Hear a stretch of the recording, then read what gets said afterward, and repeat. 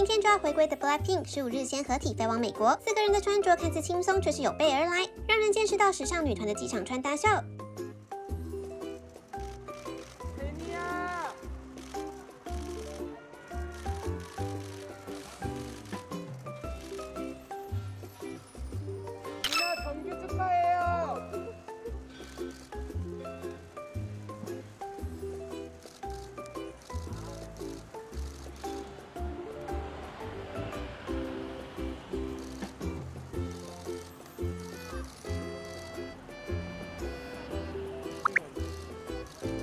같이 손한 번 만 들어주세요!